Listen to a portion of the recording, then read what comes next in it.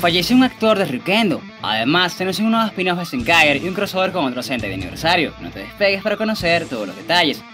Tendremos un hentai de Metal Heroes y los Rokagers tendrán nuevos power-up. ¿Cómo están, héroes de paso? Hoy repasaremos las últimas noticias en materia de Tokusatsu. Yo soy más que Hiromat. Bienvenidos a Hero News.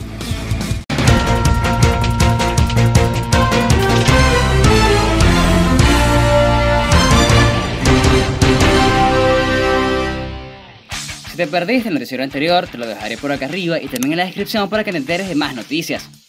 Vamos a iniciar este video con una muy mala noticia, ya que el actor de doblaje Wolfgang Galindo falleció el pasado 14 de julio debido al virus asiático. Wolfgang, además de trabajar en series como Hunter x Hunter y Meteoro, fue la voz en el doblaje latino de Kenji Nerukami, en la serie de Madan Senki Ryukendo. Mi sentido pésame a sus familiares y amigos, y desde este humilde canal agradecemos su aporte al género del tokusatsu.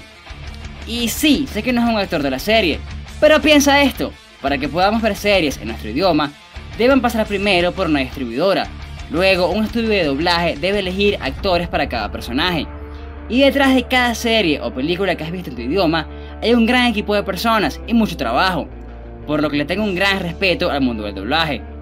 Si quieres saber un poco más sobre este tema, te dejaré por acá arriba y también en la descripción mi video sobre el doblaje cancelado de Rider Kuga, ya que en él hablo de varios de sus actores y de la historia de su cancelación.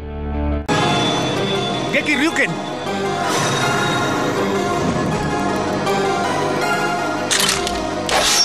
Ahora pasemos a Super Hero Senki, ya que recientemente se estrenó un tráiler que estuvo brutalmente épico. En el noticiero anterior les comenté sobre el regreso de los actores de Akareya y Kamen Rider Ichigo, en este avance vimos a Omasio de fondo con el Denliner. Como les comenté en noticieros anteriores, este man va a regresar.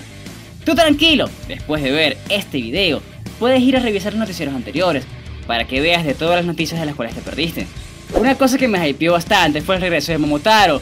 ¡Ay! Amo a Momotaro, en serio, amo a ese personaje. No sé ustedes, pero yo ya quiero ver esta película, así sea grabada del cine.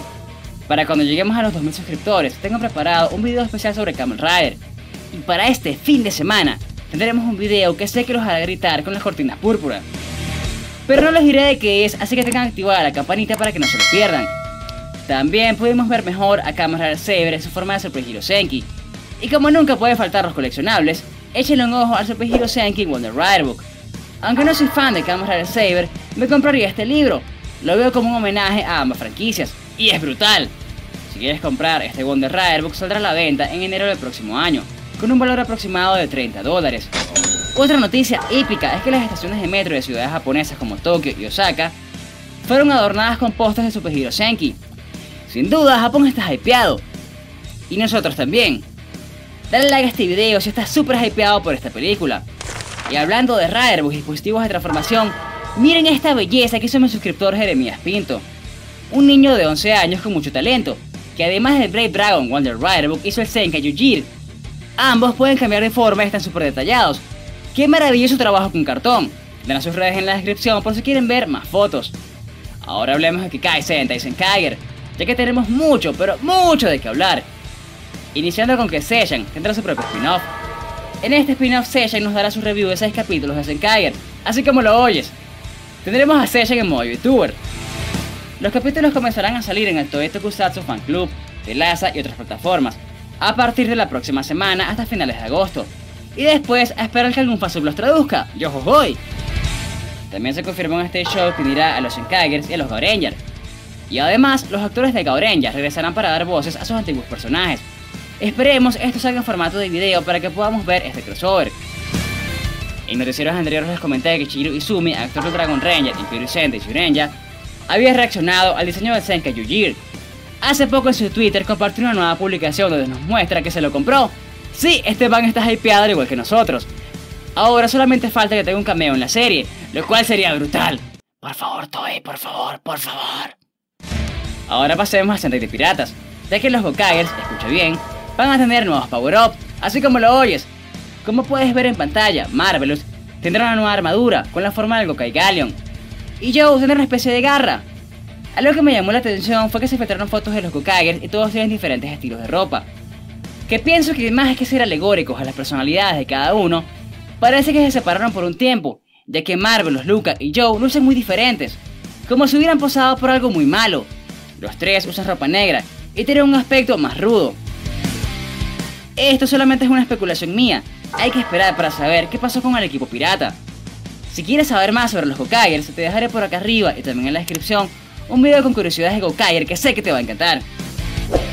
Ahora pasemos a la empresa Giga. Ya con el éxito del Super Hentai, conocido también como Baku Saber, se animaron a sacar una nueva producción inspirada en la saga de Metal Hero. Para ser específicos, en la saga de B-Fighter. Pero en lugar de insectos estará inspirada en dinosaurios. El equipo estará compuesto por Dino Rex, el azul, Dinotops, el verde y Dinoteras, la rosada. La serie está programada para su lanzamiento en agosto de este año. Este proyecto se llamará Yuko Tokusou Dinovator, y por las imágenes filtradas, tal parece que los héroes azul y verde se van a poner coquetos con la rosada. Ustedes me entienden. Ahora pasemos a Ultraman Trigger, ya que con una entrevista al director Koichi Sakamoto, este reveló algunos detalles de Ultraman Trigger. Para empezar, Ultraman Trigger no es una secuela o reinicio de Ultraman Tiga, se trata de un nuevo proyecto que se basa en Tiga para celebrar su 25 aniversario. Ultraman Z no será el único ultrahéroe con el que se unirá Trigger. Más ultrahéroes aparecerán pronto en la serie. Circle Arms no es solamente un arma, tendrá un papel fundamental en la historia principal. Koichi Sakamoto también aclaró, además de que Trigger no es una secuela o un reinicio, que quiere que la nueva generación de fanáticos que no saben nada sobre Tiga conozcan más sobre este personaje. Tal parece que Trigger está planeado como un gran aniversario, te dejaré por acá arriba y también en la descripción mi reseña del primer capítulo, el cual estuvo brutal. Y como no, mi recomendación de la semana es Ultraman Trigger. Me gustó bastante esta nueva historia y tiene muchas referencias a Ultraman Tiga, además de que los efectos y los Ultra fusionados están brutales. El héroe de paso Andrés Méndez nos recomienda Cámara de X8, una serie muy buena llena de muchos buenos personajes, grandes batallas y su temática de videojuegos está chévere. La heroína de paso Karen Fantasy nos recomienda la película de Black Widow, Quizás no sea la mejor película del UCM, pero es bastante entretenida, con momentos emotivos, peleas increíbles, guiños tanto a cómics y películas pasadas, siendo lo mejor Yelena y Natacha. El héroe de paso, Adrián Zárate nos recomienda Ultraman Gaia. Fue la primera serie de Ultraman que tuvo una trama más lineal y su primera mitad con Agul como villano es una joya. La segunda mitad también es muy buena. Recomienden tu serie, cómic o película favorita. Elegiré los tres mejores comentarios como recomendación de la semana. Si no sale tu comentario en este video, puedes comentarle alguna curiosidad en el último video de curiosidades de Kamen Rider, cual te lo dejaré por acá arriba y también en la descripción. Ahora cuéntame, ¿cuál de estas noticias fue tu favorita? ¿Quieres recomendarnos alguna serie, cómic o película? Házmelo saber en los comentarios. Antes de irme, les mando un fuerte abrazo a los suscriptores, bienvenidos al canal y gracias por formar parte de esta comunidad. Si te gustó este video, regálame un like y suscríbete para más noticias del mundo de Tokusatsu. Activa la campana de notificaciones para que YouTube te avise cuando suba nuevos videos comparte este video con un amigo para que juntos hagamos crecer esta comunidad y sígueme en mis redes sociales para estar en contacto. Se despide más que Giromat, nos vemos en el multiverso.